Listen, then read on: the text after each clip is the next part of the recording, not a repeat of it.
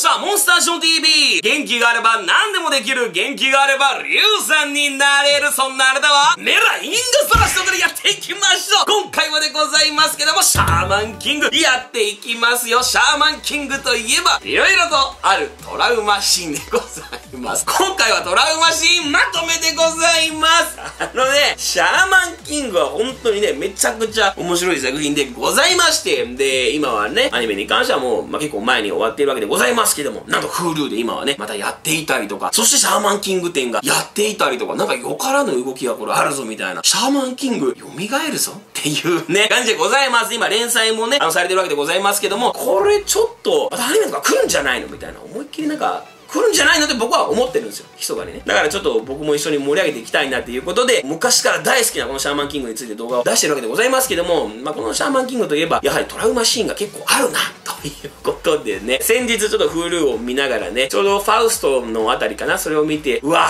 来たみたいな。俺それ本当にね、あの、子供の頃に多分初めて見たようなトラウマシーンかな。まあ、ファウストがマンタ君の体の中に手をふわって入れて、心臓をこんなんやったりとか、頭に手を入れたりとか、そんなようなことをして俺、おー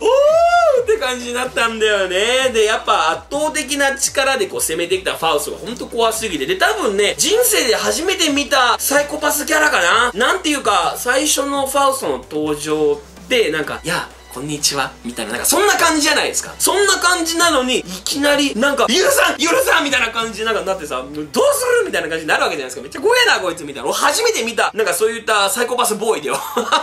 本当に怖くてね、あの、今でも忘れられないね、恐怖シーンでございますけども、そんなようなシーンのまとめを今回やっていきたいなと思います。意外と、なんか、シャーマンキングはそういったようなトラウマシーンが連発するということでね、もうもう本当にどのシーンもやっぱ印象に残ってるなって感じでございますけども、まずは一発目はこのファウストででございます。えーと、これに関してはシャーマンファイト始まって速攻ではね、ファウストと渡っていた流れでございますけども、まあ、あれはでもマンタ君が悪いよ。なんかサイコパスボーイだったとしてもさ、なんかちょっと煽ってるよね、マンタ君。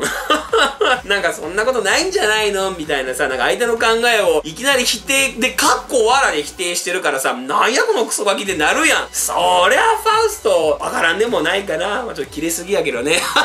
でもさらにヨー君も煽ってるからさ、なんか、奴ら煽り上手だなっていう感じするけどね。そんなこんなで、ファウストを荒ぶりまくってマンタンにね、あの、しっちゃかめっちゃかしたわけでございますけども、僕はあれが本当に怖えなっていう風に感じましたね。まあ、一発目で、ちょっと、あれは子供の頃見て、めちゃくちゃびっくりしたなっていう風にね、思う次第でございます。そして続いてでございます。続いては、ハオ様でございますね。ハオ様にまつわるトラウマシーンっていうのはわりかしあるんだけどもね、その中でも、まずハオ様自体に対して、怖えなって思ったっていうね、ね、彼自身はめちゃくちゃかっこいいよ。もうハオ様僕はね、あの、一番好きって言ってもいいぐらい、あの、好きなキャラクターで、やっぱ圧倒的な力っっていうのがいいなっていうのと、あの余裕だよね。普通に考えて、X ローズがなんか敵としていたけどさ、なんか所詮、浮力1万あるかないかの奴らやん。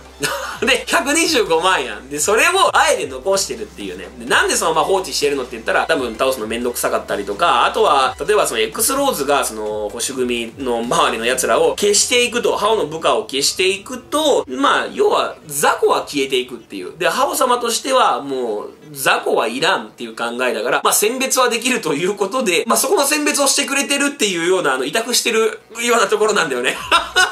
からそう考えていくと、まあ、X ローズは残してもいいかな、みたいな、そんなような考えなんだろうけどもね。えー、まあ、そんなハオ様でございます。ハオ様が生まれた瞬間でございますね。おんぎゃーって言ってさ、なんか生まれたんだけども、なんかいきなり、ね、ちっちゃいなとか言ってさ、なんか喋り出して、で、ミニスピリットファイア、あれ可愛いよね。あれ出してさ、なんか、お父さんの顔面燃やしていくしさ、で、お母さんに対してタメ口で、茎子とか言ってさ、なんかもうめちゃくちゃ難しい言葉をなんかそんなにね、あの、リームンじゃないみたいな、流産でもしたら困るでしょみたいな、0歳の子供が親をそういう風に呼び捨てで稽古と言って、で、もう一人いるということで、流産でもしたら困るっていうことを言ってっていう、このなんかもう全ての言葉遣いから何から何まで怖い。我が子がいきなり喋り出してそんなことを言い出したら超怖くないって考えると、俺はもうね、ハオ様恐ろしいなっていうね、あの生まれた瞬間のあのシーンはね、とんでもなく怖いなっていうふうに思うわけでございます。そして、これまたハオ様にまつわるところでございますけども、リリアラでございますね。リリアラ皆皆さん覚えておりますでしょうか？セミのあの選手の流れでございますよね。あれがまたトラウマでさ、なんか最初リリララ怖えなこいつみたいな感じで、で、セミナーの選手の流れがあって、みんながみんなでハオ様についてまあ知っていくとかね、その、まあシャーマンファイト行われる場所はどこなのかっていうのを知っていくっていうので、その記憶を見ていくっていうね、そういったような流れがあったわけでございますけども、せっかくやっとなんか、リリララといい感じになってさ、なんか仲良くなりました。で、セミナーの選手たちも仲良くなりました。じゃあなーって言って、で、見送ったら、いきなり裏からグサッ。マジか何って言ったらスピリットオブファイヤーズドンだよ。やばくない？いきなりそれ？みたいな。もう本当にね。あれはねびっくりした。いきなりそんなことになるみたいな。でねあのアニメだと声優さんはあのブラックラグーンのねパラライカをまあやってる方になるわけでございますけどもなんかねあのリリララ合ってるなっていうふうに思ってさパラライカやみたいな。めちゃくちゃ怖いやんけみたいな。でそれが刺されるんだよ。うわーみたいな。なるわけでございますけどもね。ビッグマムもそうだよね。なんかこう、だから 俺ってさ、めちゃくちゃね、その声優さんになんか超詳しいってわけじゃないんだけど、声でわかるわけじゃないですか。あ、一緒だみたいなさ、その時の感動よ。で、なんか、あ、聞き覚えあるな、なんだろうなって言って検索した時の感動ね。なんかその声優さんのその出演一覧みたいなところをウィキで見るんだけど、なんか、うわ、なんかここも出てるみたいな。だからそれこそシルバーとかに関しても覚えたんだけどもね、あの、ルカワ君と同じだったりとかっていうね、そんな流れがあったりとか、で、阿弥陀丸に関してもね、宇髄さんだったりとか、今の鬼滅で言うとね、こうなんか、わかる？このリンクした時の、おー、ここも？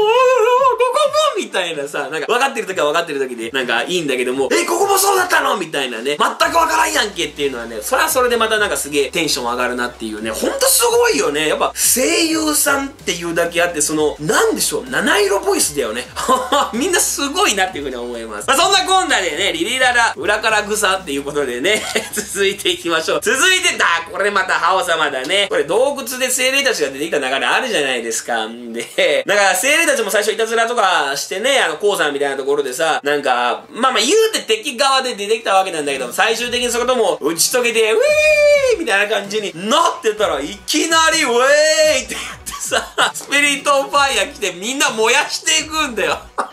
めちゃくちゃ、本当に、どれだけの数の精霊がいたよ。もう全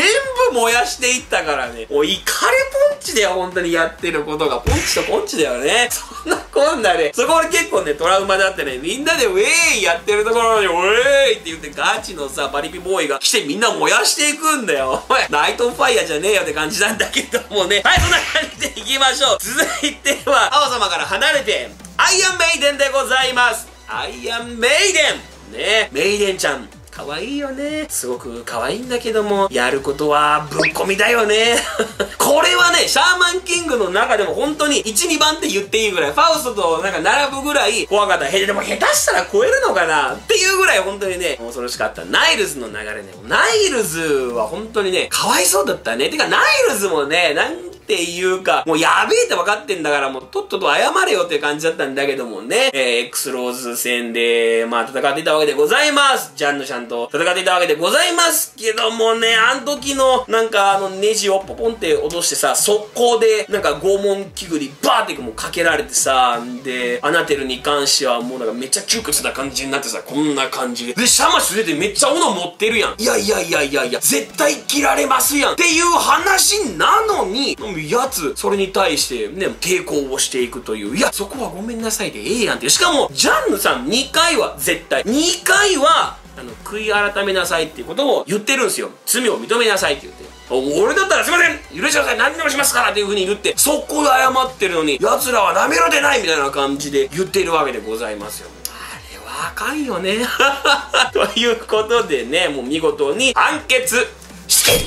思いっきりもう真っ二つにされていって、で、他の奴らももう散々な拷問器具にかけられてっていうね、あれをアニメで見たもんだからもうたまったもんじゃないよ。の漫画とかで言ったらシャレにならんよ。もっとやばいのは10歳児であれにかけられる奴いるんだよ。シャーマンキングの完全版見らわかるけど、えぐいよ。もう膝砕かれるわ、なんのっていうとんでもないしっちゃかめっちゃかやられるのに、まだとつってくるっていうね、とんでもない10歳死って。てか10歳死とあいつらめっちゃ強いからね。後半を見ればわかるんだけど、アニメじゃその強さって全くもってわからんし、その後半の方っていうのはちょっとあの早めに終わらせていくような流れがあったからさ、そのアニメに関してはね、あの、全然わからないんだけども、とにかく10歳死強えよ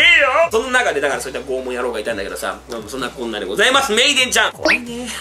続いてでございます。続いては、これであのアニメの方になるんだけども、シャマシュでございます。メイデンちゃんから来るシャマシュ。何が怖いかって、もちろんそのシャマシュのえいってやつは怖いんだけども、シャマシュがスピリットオブファイヤーに食われていくっていうね、どっちかというとスピリットオブファイヤーが怖いって感じか。やつはね、その、魂を食うとき口が閉まってるのに、ブワーっていきなり開くんすよ。あれが怖いんだよね。で、アニメで何回かそのシーンが、ブワーってあるんだけど、超怖いよ。本当に。で、シャマシュはもう、バリバリ食われたからさ、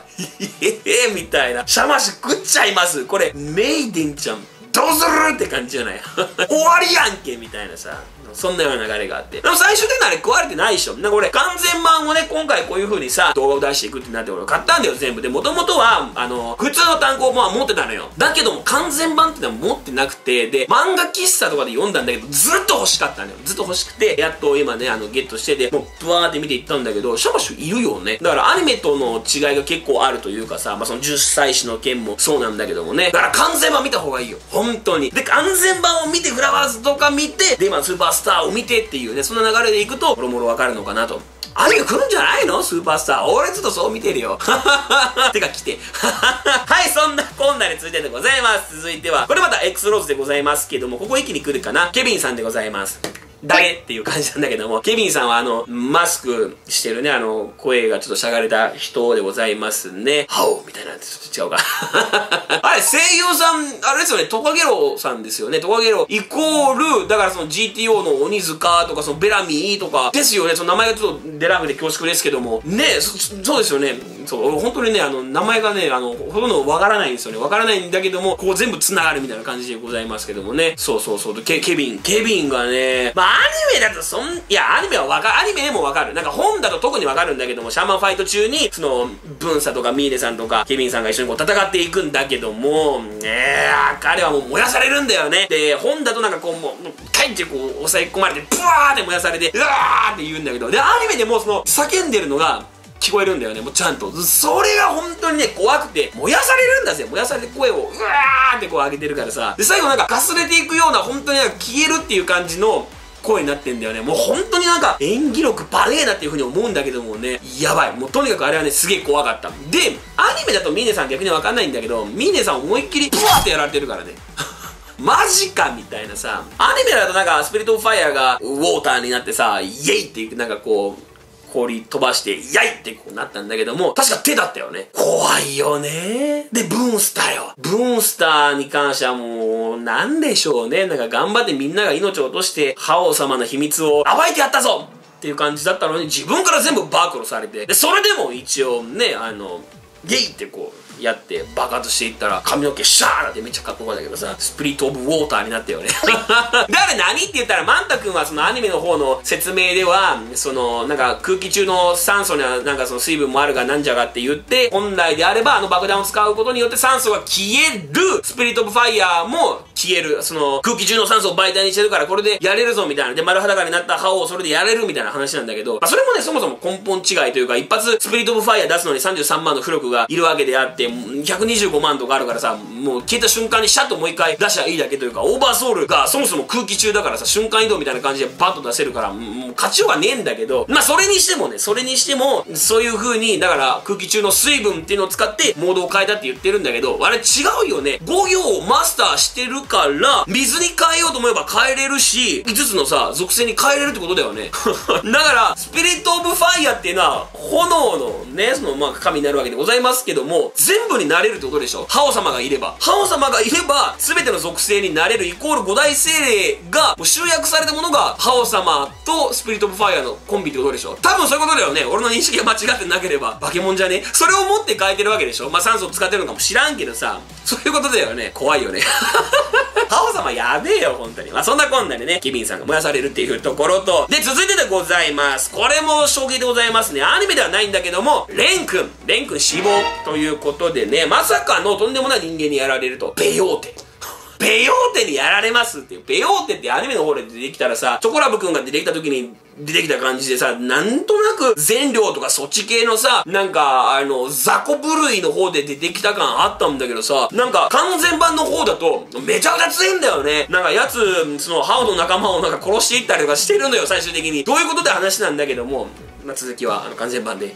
レン君をやっちゃってるの思いっきり、グサイってさ、あいつのオーバーソウルがめちゃくちゃでかくてさ、まあ、メキシカンのね、骸骨マンでこう、でっけえナイフ持ってて、思いっきりレン君ブワッ刺して、その時点で、ここ全部、えいって言っても、やばいよ。もう全部切れたなって感じなんだけども、さらにそれをボーンって思いっきりやっていくからさ、シャレなら壁の動きりボンぶつかってるけど、本来誰も体真っ二つになってるよね。っていうのをレン君食らって死亡でございます。え、どうなったの？レン君終わったの？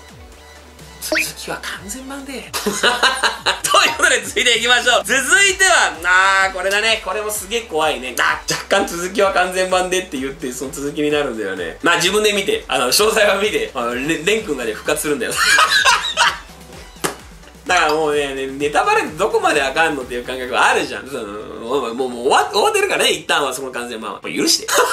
レン君が復活するわけよ。もう元気、はつらつみたいな、もう牛乳飲みまくれみたいな。昔なんか3本ぐらい毎日飲んでたのが今もう100本ぐらい飲んでてそんなノリでウェイってこう出てくるんだけども、シャーマンファイトでついに踏ん張り温泉チームとね、チーム漫才トリオがこう戦うわけでございます。で、レン君と、ホロホロくんがぶちかますわけよ。まあ、ヨウくんたちがいて、で、戦い始まるんだけども、いきなり、リュウさんの腕、両方とも、ホロホロくんが凍らせて破壊してしまいます。んとんでもないよ。凍らせて破壊だからね。リュウさんの腕、なくなります。はって感じやん。その時点で意味わからんのよ。敵だったらわかるよ。わけのわからん敵、ハオチームに腕やられたっていうならわかるよ。ホロホロくんに腕やられるんだよ。やばいじゃん。で、ヨウくんはそれに対しては、まあ、動揺はしない。まあ、なぜならば、彼の性格もそうだし、あとは、ファウストがいるから、後で直せる。大丈夫。っていう話なんだけども、仮に死んでも最後それでなんとかなるかもしれないけども、それを潰しに行くタオレンでございます。もうその時点で俺すげえびっくりしたんだけども、後で蘇生できる。いやいやいや、普通戦っていく流れで一番に潰すべきは回復だよね。ということで、ファウスト君、思いっきりレン君に刺されて殺されます。意味わかんなくない？いきなり仲間が2人やられるんだよ。やばくない？で、それやるのがレン君たちだよ。とんでもないじゃんしかもめちゃくちゃ強くなったホロホロ君とレン君だけども、一番強いのは、その中で一番強いのはチョコラブですからね。チョコラブまだ動いてないからね。チョコラブ動いたらどうなるのって話なんだけども、最終的に出番なかったっていう そんな話なんだけどもね。もう俺はとにかくね、これは衝撃だった。だからそこまで知らない人、アニメだけ止まってる人は、アニメが全てじゃない。アニメは、そういった一つの流れもあるよね、ぐらい。で、後半から全然違うから。もうね、10歳児の力から何から。びっくりするよなんか、ヨウくんたちの仲間の中で一番強いの誰？って考えると、そりゃヨウくんでしょ違う。違うんです。誰だと思います？続きは、完全本で。完全本で。完全版で。完全本ってなんやね。ということでいかがでしたでしょうか？今回のトラウマシーンまとめでございます。やってきましたけども、シャーマンキング、いろいろと恐ろしいようなシーンがあるわけでございます。他にもね、まだまだ恐ろしいシーンがありますけども、ぜひともそこら辺はね、シャーマンキングの完全版、これを見ていただけたらなっていうふうに思います。僕もね、あの、一回そういう風に前に満喫で読んで、で、そこから今回もう本当にね、あの、数日前にね、ゲットしたばかりでございますけども、ここから全部これをまた、ブワーって読んでいきたいなっていうふうに思いますけども、シャーマンキング本当にね、見た方がいいよ今、なんかフラグ立ちすぎなんですよ。だからシャーマンキング店でも、なんか、これから先の展開がどうちゃらっていうことを匂わせるような一文を武井先生が残していたりとか、で、そこからの YouTube でね、あの特集という形で武井先生のその工房に入っていく、要するにその作業場っていうのを撮影していくっていうめちゃくちゃ素晴らしい客がございまして、これちょっと概要欄の方にね、貼っておきますけども、そこでも、なんかこれから先の展開っていうことをちょっと言っているんだよね。シャーマンキングね、今もう連載をしてるわけだから、さらに何か盛り上げていくって話でしょ？アニメ来るんじゃないの？っていうふうに俺は思いますよ。アニメ来たらマジ時代変わるからね。早く来いシャーマンキング蘇れということで、今回はこの辺で締めていきたいなと思います。改めて、シャーマンキング知らないよって方は、これを機会にぜひともね、チェックしてもらえたらなと思います。そしてシャーマンキングすでに知ってるよって方は、今のうちにもう全部バーっと読んどいてください。シャーマンキングの完全版っていうのは正解でございます。ぜひともチェックしてください。OK ですか？それではさよならますが、じゃんけんタイム行きましょう。最初はグーメラインガサーラシーってことで P でした。また次回お会いしましょう。See you next time!